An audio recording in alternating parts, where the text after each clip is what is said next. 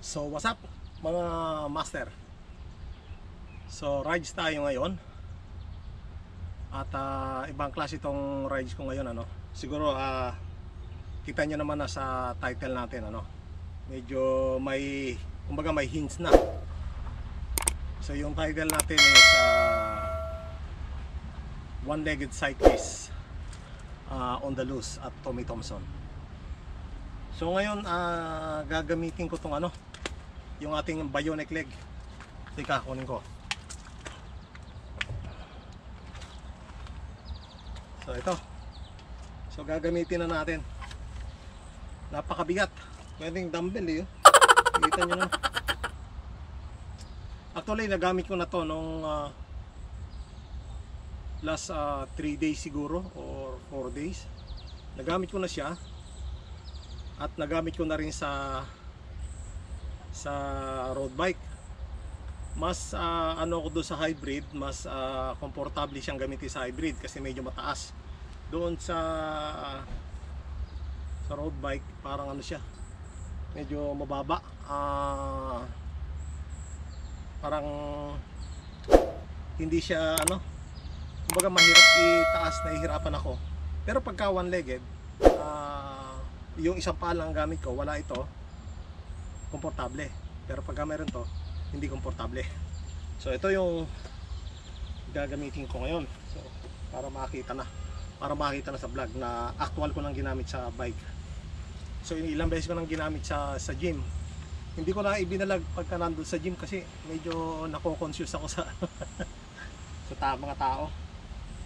Kaya hindi ko na ibini-video ron. At ah, ngayon, ah, siguro ito na lang. Ito dito dito ko na lang gagamitin sa ano Tommy Thompson. Kumbaga ito na lang yung magiging ah, training ground ko para dito. Hindi ko na ila ilalayo. So, tara mga master, subukan niyo ako, samahan niyo ako. Right after this.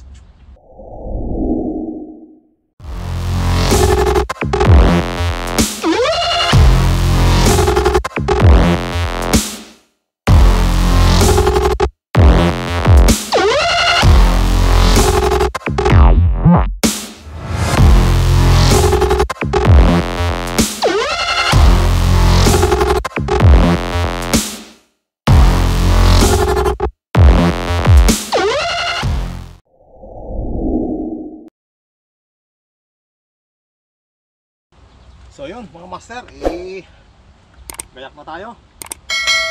Suot na natin. Makati ah.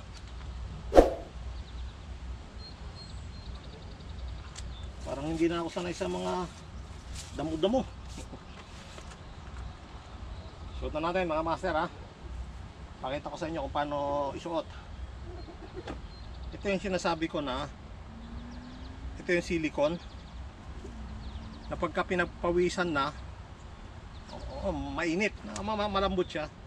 Ito yung protection doon sa pinaka ano natin, skin at doon sa buto.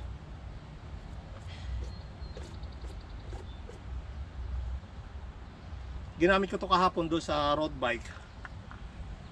Tas ilang ano lang, isang ikot lang sa baba namin. So ganito yan, susuot ko yan dito.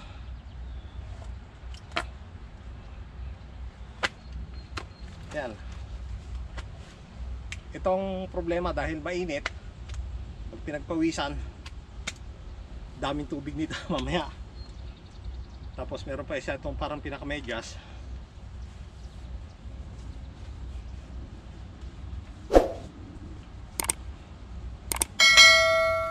Ayan. So medyo mabigat oh, kita naman. Ang nagpabigat siguro dito itong ano, itong uh, fiberglass. Ito kasi oh. Ito yung fiberglass eh. Sana kung kuan ito um, ah, carbon magaan siguro ng konti. Sabi nila titanium. Hindi ko alam kung alin ang titanium dito. Yan ganyan. Ganyan mga master. May mali ako yung isang sapatos ko hindi ko nadala isang cycling shoes Walang ya. Iniready ko na kanina yun. Ah, pero sige, okay lang dahil meron naman tong ah, isang paa. Subukan natin. Kahit na wala. Ay.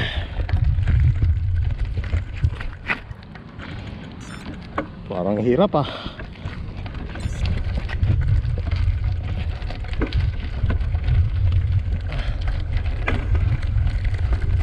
Hirap.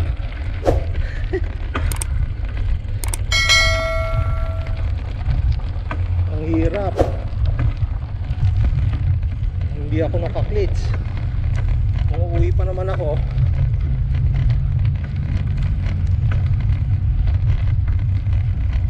Tagaan ko na lang muna. Kahit isang ikot lang sa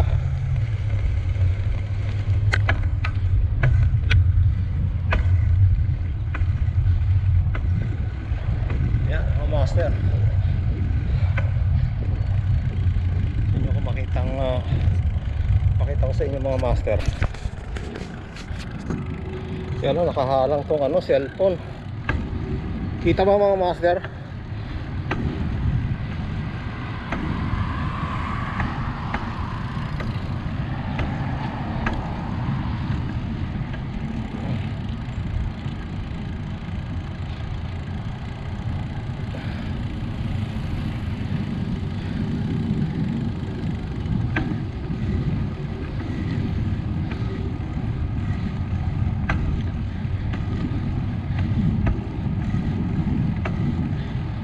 Muna tayo mga master, tanggalin ko tong cellphone para ma ano, kita dito. Madali ko ipihit tong ating GoPro. Ito pa isang problema ko rito. Yung pagbaba. Kasi nga hindi ko pa maitayo ng uh, diretsahan tong ating artificial, itong kalkanang paa. Kaya nahihirapan pa ako mababa. Iyan oh. Tanggalin ko tong cellphone. Yan, pwede na siguro yan. Ah. Ito na naman pahirapan yung pagsampa. Ay.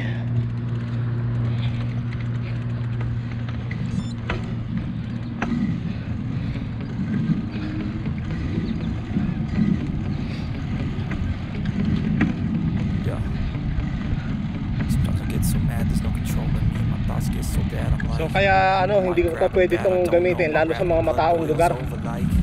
Dahil hindi ko pa alam na dahil medyo na-outbalance pa ako pag bumababa. Hindi katulad ng isang paa, kabisadong kabisado ko na. Kumbaga eh, balance na balance ko.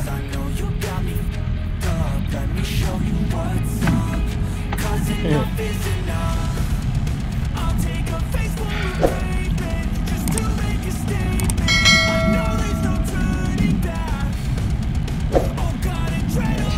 Master. Pero maganda nga, mga malaki yung tulong dahil nakakatulong sa lalo sa mga ahon. Malaki yung tulong niya dahil doon sa amin may isang ah, banayad na ahon doon. Eh doon kahit na yung banayad na yun, hinihingal ako pagka isang paa. Although ito, may hingal pa rin pero yung ah pag-akyat hindi hirap. Medyo mas mabilis-bilis siguro ng ah, kaunti. Kung maakyat ako ng mga 8 km per hour siguro doon dati pagka isang paa. Or 6 km per hour. Eh nadagdagan ng isa mga 7 na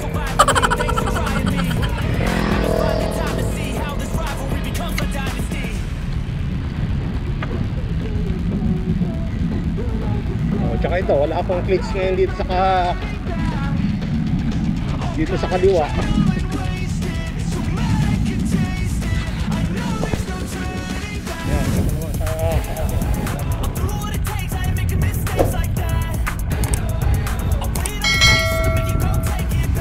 Eh, ride sa next Saturday. Eh, ngayon, hindi na ako nakapag-rides dahil may pasok yung misis ko ng gabi at uh, sinusundo ko sa umaga. Eh, kanina kasi, da- dapat pwede ako mag-bike, ma- mag-ride. Ang kaso, ah, pumasok siya dito sa part-time job niya. Dahil ah, wala yung ah, mga amo niya, mga Vancouver. Pagkatapos niya dun sa trabaho niya sa ospital, yan, diniretso kasi dyan sa job niya.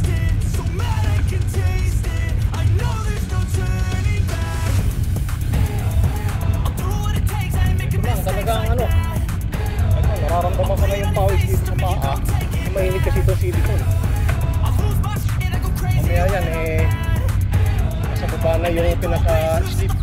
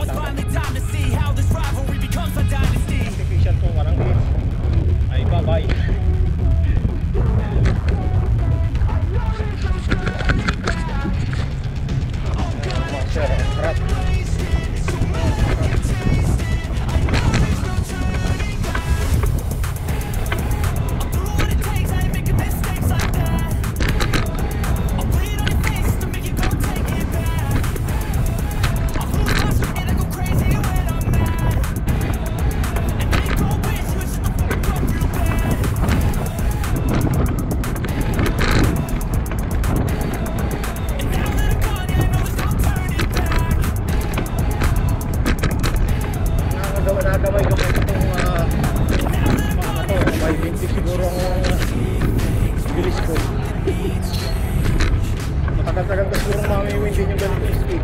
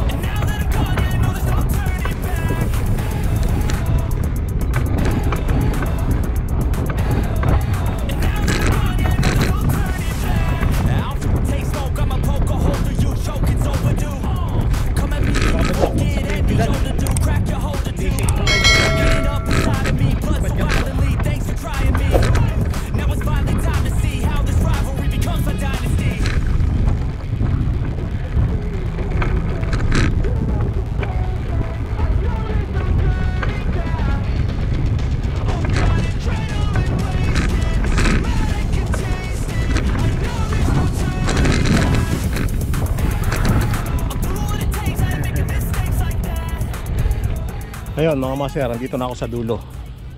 Hindi, hindi, hindi pa naman doon, pero ikot ako doon. Wala akong mauupuan doon. Kaya ito pakita ko sa inyo yung paano yung sinasabi kong tinan nyo. Ah, wala na, bumaba na yung ano niya oh.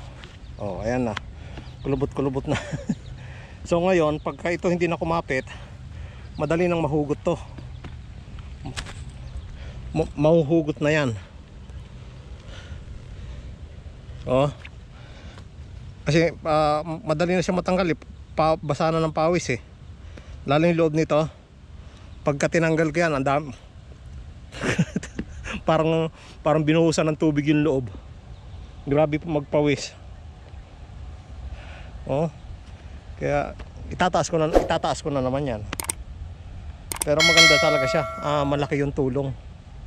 Biro nyo naman, nami-maintain ko yung ah, 20 20 km per hour or 22. Oh, nakasagad na yung gear ko niya no.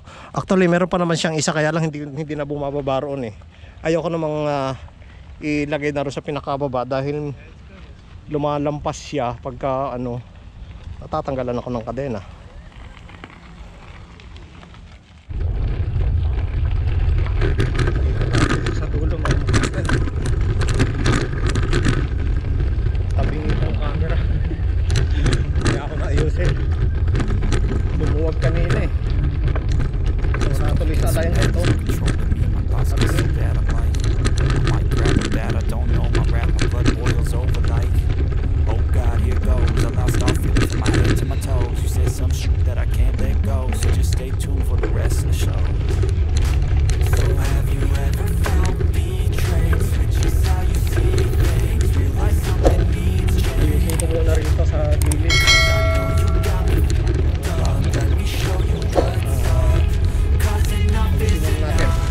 Yun mga master, naayos ko na.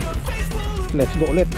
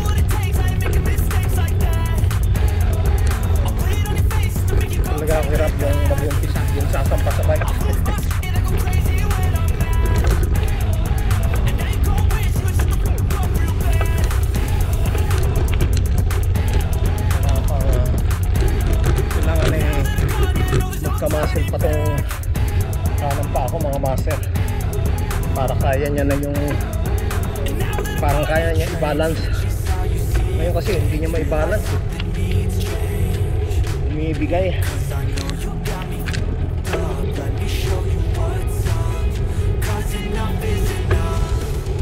Ah, madilim na oh.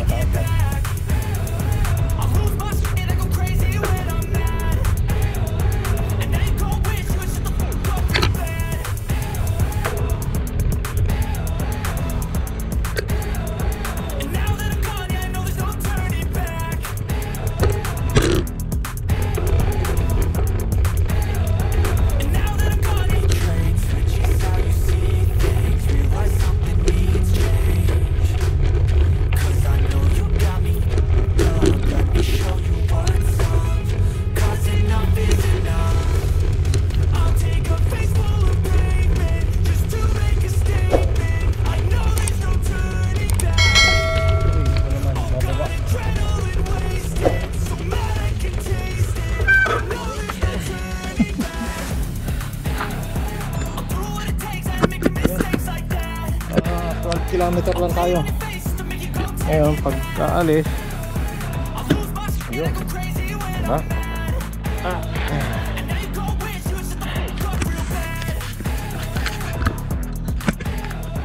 So, yun lang mga master. Nakita nyo na. Malaki yung tulong niya, no? Ah, sa lalo sa ano, yung ah, pagpidal eh may katulong na yung isang paa. So pagka medyo nangawit yung isa, ito naman ang ini- dinidiin ko ng dinidiin. So na nakaka-recover yung isang ano, yung kaliwa. Hindi katulad nung ah, wala to, dire-diretso. Kaya biro nyo, la, simula umpisa nakasagad na yung aking gear. Doon na sa pinakamaliit. Pero hindi ako nagsishoot ng ano, Hindi katulad nung pag ah, isa lang, ah, palipat-lipat yan. Lalo pagka napagod. Pero ngayon hindi eh. Hindi ko alam kung ah, gaano katagal ito na matitiis kong nakasuot dito sa ano ko sa sa, sa paa ko ngayon tatry ko na ano yung tumagal patagal ng patagal eh, actually may rides kami sa August. Eh sana. Pag-iisipan ko ng mabuti kung gagamitin ko. Kasi pag ito sinuot ko at nasa rides na kami wala nang atrasan yon ilang oras yon dahil ah, long ride yun eh. Nasa 200 km din mahigit. So pag ito isinuot ko sa rides wala nang tanggalan to. Ay siguro tatanggalin ko pag nagpahinga. Pero yung tatanggalin ko tapos pipidal ulit na isa lang ang paa hindi na siguro dahil wala akong paglalagyan nito. Walang pagkakargahan to. Alam na ipabitbit ko sa mga kasama ko bitbitin ko. Ha pero bahala na si Batman. Susubukan ko pa rin. At ah, pag-aaralan ko. Ah, papraktisin ko ng papraktisin ayun nga oh, partida pa nga yan oh. wala akong ano walang wala yung wala yung sapatos ko. Ayan, sana oh. Ah, kulang na talaga sa baluktot tong ano to. So yun lamang mga master. At ah, antabay antabay lang. Pagka ito eh fully functional na. Maganda ng rides to yun lang yung pag, pag pinagpawisan. Hindi ko alam kung paano ang ano ang remedy rito na hindi siya gaano pagpawisan pero pinagpapawisan nga dahil nagtutubig eh no? hindi ko na ipapakita sa inyo at mm, medyo medyo asagwan tignan na ihano ko yung pawis. So ayun lamang po at ah, ingat po lahat at sana eh, ngayon eh, nag-enjoy kayo sa ride nyo tong weekend na to ha? Maraming salamat po bottom. Peace. Cause I know you got me up, let me show